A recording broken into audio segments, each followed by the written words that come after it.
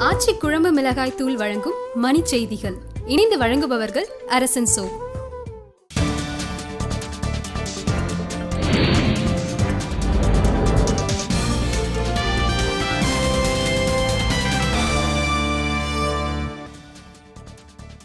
பிரதமர் தலைமையிலான நிதி ஆயோக் கூட்டம் காங்கிரஸ் உள்ளிட்ட எதிர்க்கட்சிகள் புறக்கணிப்பு. பதினோரு நாள் இடைவெளிக்கு பிறகு தலைமைச் செயலகம் வந்தார் முதலமைச்சர் ஜெயலலிதா. மெல்லிசை மன்னர் எம் எஸ் விஸ்வநாதனின் உடல் எரியூட்டல் ஆயிரக்கணக்கானோர் திரண்டு அஞ்சலி. காஷ்மீர் எல்லையில் பாகிஸ்தான் ராணுவம் நடத்திய துப்பாக்கிச் சூட்டில் பெண் ஒருவர் உயிரிழப்பு. அண்ணா நூற்றாண்டு நூலகத்தை முறையாக பராமரிக்க ஆணையிடக் கோரி சென்னை உயர்நீதிமன்றத்தில் முறையீடு. திருச்சியில் பள்ளி மேற்கூரை இடிந்து விழுந்த விபத்தில் ஏழாம் வகுப்பு மாணவர் காயம்.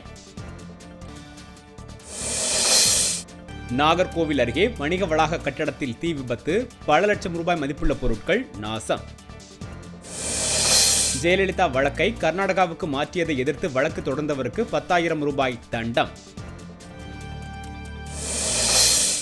வெப்பசலனம் காரணமாக தமிழகம் மற்றும் புதுச்சேரியில் ஒரு சில இடங்களில் மழை பெய்யும் என வானிலை ஆய்வு நடுவம் தகவல்.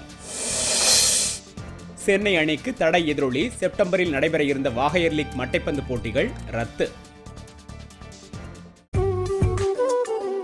ஆச்சி குழம்பு மிளகாய் தூள் வழங்கிய மணி செய்திகள். இணைந்து வழங்கியவர்கள் அரசன் சோ